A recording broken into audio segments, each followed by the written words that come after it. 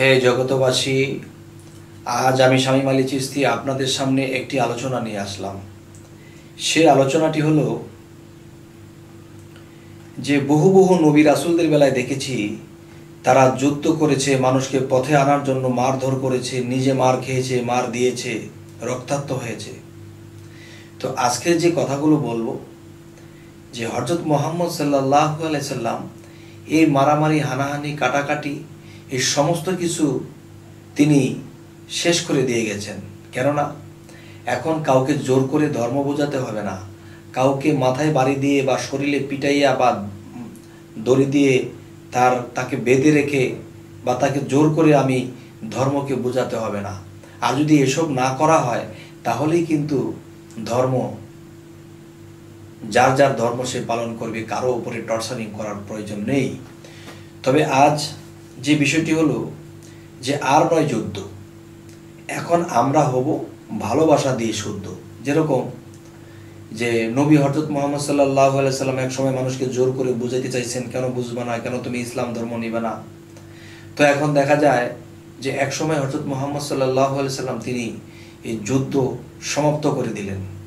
আর আল্লাহ বলে দিলেন, হে মোহাম্মদ আপনি মানুষদেরকে পিটাইয়া বুঝাইতে যাবেন না, মানুষকে জোর করে বোঝানোর দরকার নেই। যে আপনার বলা আপনি বলুন, হেদায়তের মালিক আমি আল্লাহ। এই কথা বলার পরে হজরত মোহাম্মদ সাল্লাহ সাল্লাম কি করলেন? তিনি চলে গেলেন প্রেমভাবে, ভক্তির ভাবে। তার কিছু নিদর্শন কীরকম?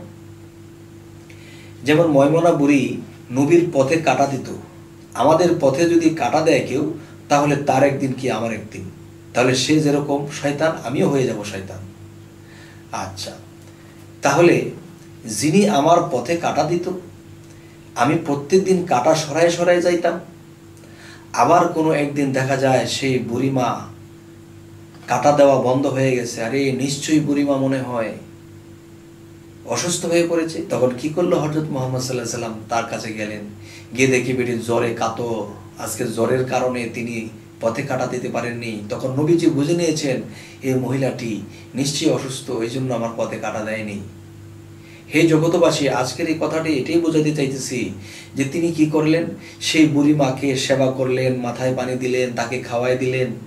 তখন এই বুড়িমা সুস্থ হয়ে বলতেছে, বাবা, তুমি কে গো বাবা? আমার এত সঙ্গী ভঙ্গি, আমার কথায় যারা চলে এবং আমার আপন যারা, তারা কেউ আমার পাশে নাই। তুমি কে গো বাবা, আমাকে সেবা যত্ন করে ভালো করে তুললে? তখন বলতেছে, মা গো, আমার পরিচয় দিয়ে কি করবেন? আমি একজন মানুষ আর আপনি একজন মানুষ। আপনি অসুস্থ, আপনার সেবা করা আমার দায়িত্ব। আমি তো আমার পরিচয় দিয়ে কি হবে? আপনি একজন মানুষ, আমি একজন মানুষ। তারপরে বলতেছে, বাবা রে, বলো বাবা, তুমি কে? যে এত এত আমার আপন লোকেরা সবাই দূর হয়ে গেল, আমি অসুস্থ ফেলে চলে গেল। তুমি কোথেকে আসলে বাবা? আমাকে সেবা করে তুললে, আমাকে ভালো করে তুললে? তখন কি বলতেছে? এখন তো তার পরিচয় চাইতেছে, এখন পরিচয় না দিলে তো আর হয় না। তখন হজরত মোহাম্মদ সাল্লাহ সাল্লাম তিনি বললেন? যে, মাগো, আমি বলব? হ্যাঁ বলো বাবা, তুমি কে? মাগো, আমি তো সেই আবদুল্লার ছেলে মোহাম্মদ। এখন এই বৃদ্ধ বেটি বলতেছে, হায়, বলো কি? তোমার মতো ব্যক্তি এত একটা ভালো মানুষ, মানব সেবা করো, আমি তোমার পথে কাটা দিয়েছি। হায়, কত ভুল করেছি আমি। তখন কি বলল? যে, হে, তোমার নাম যদি মোহাম্মদ হয়ে থাকে, তোমার ধর্ম যে ইসলাম, তুমি সত্যই একজন মানুষ। তুমি সত্য একটা বড় মনের মানুষ। তুমি একজন ভালো মানুষ। তুমি যেহেতু ভালো, তাহলে তোমার ধর্মটাও ভালো। তোমার ধর্মের মধ্যে আমাকে কালেমা পড়াইয়া নিয়ে নেও। তখন কি করলেন? তাকে মুসলমান মানায় নিলেন এবং বললেন হজরত মোহাম্মদ সাল্লাহ সাল্লামের ব্যবহার, আচার দেখে তিনি মুগ্ধ হয়ে বলতেছে, হে, তোরা কে? কোথায় আছিস? সবাই আয়। প্রকৃত মানুষ তো তিনি, যার পথে আমি কাটা দিতাম। তাহলে হজরত মোহাম্মদ সাল্লাহ সাল্লাম এর আগে কিন্তু যুদ্ধ করত, রক্তাক্ত করেছে, রক্তাক্ত হয়েছে। কিন্তু এর পরবর্তীতে হজরত মোহাম্মদ সাল্লাহ সাল্লাম প্রেমের দেশে চলে গেলেন, ভক্তির দেশে চলে চলে গেলেন। তখন ভক্তি দিয়ে, প্রেম দিয়ে, ভালোবাসা দিয়ে যখন কথা বলে, তখন পাষাণের হৃদয়ে গলে যায়।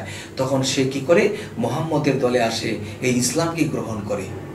তাহলে হে জগতবাসী আজকের এই আলোচনাটা আমি এটাই বুঝাতে চাইলাম, এই জিনিসটাই বোঝাতে চাইলাম যে হে জগতবাসী আজকের পর থেকে আমরা যত কঠোর মানুষ হোক, যত খারাপ মানুষ হোক, তার মাথায় হাত বোলাবো। তার কাছে আমি সুন্দর ভালোবাসা দিয়ে কথা বলব।